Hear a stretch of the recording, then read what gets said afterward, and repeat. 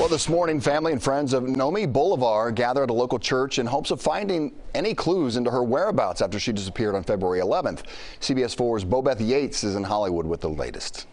Yes, that large group of people stepping up their efforts to find Noemi, and they're hoping just their presence on the streets will help more tips come into the Hollywood Police Department.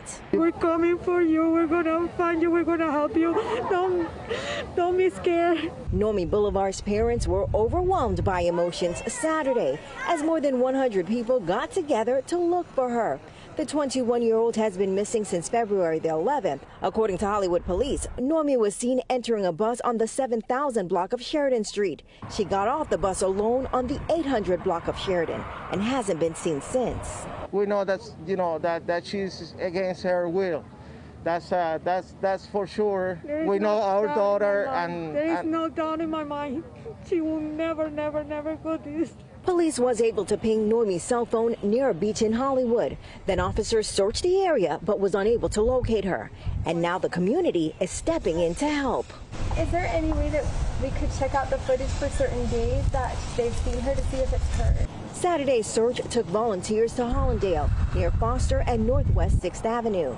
The group hosted flyers and spoke to residents in hopes of finding any clues of Noemi's whereabouts. You know, as we're out talking, looking, and just talking with everybody and all the locals in the neighborhood, you know, we've had a few individuals say that they think they may have seen her in the last four or five days.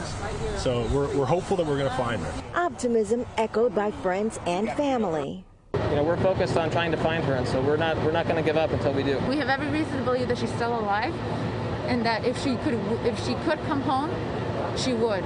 But so if she isn't, then it must be because she's in danger, and that's what, what that's why we're here. We want to get her back home.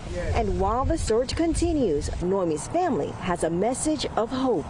we love her. We love her so much. We need her Please, back. uh, We're looking for her and stay strong, honey, because we're coming for you. We're gonna find you. We're gonna help you.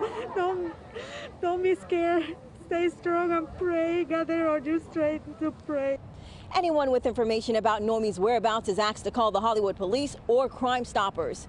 In Hollywood, Bobeth Yates, CBS 4 News this morning.